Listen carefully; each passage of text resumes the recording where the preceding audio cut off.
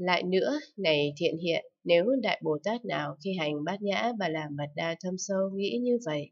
đây là bát nhã ba la mật đa, đây là thời gian tu hành, đây là nơi trốn tu hành, ta có thể tu bát nhã ba la mật đa thâm sâu này.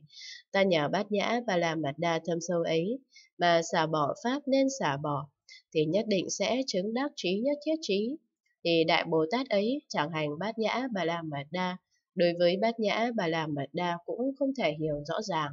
Vì sao? Vì bát nhã bà la mật đa thâm sâu không nghĩ, ta là bát nhã bà la mật đa, đây là thời gian tu, đây là nơi trốn tu, đây là người tu, đây là pháp bát nhã bà la mật đa viễn ly, đây là pháp mà bát nhã bà la mật đa chiếu rõ, đây là quả vị vô thượng chánh đẳng bồ đề mà bát nhã bà la mật đa chứng, nếu biết như vậy là hành bát nhã bà la mật đa. Lại nữa, này thiện hiện, nếu Đại Bồ Tát hành bát nhã bà la mật đa thâm sâu nghĩ như vậy, đây chẳng phải là bát nhã bà la mật đa, đây chẳng phải thời gian tu hành, đây chẳng phải nơi trốn tu hành, đây chẳng phải người tu hành,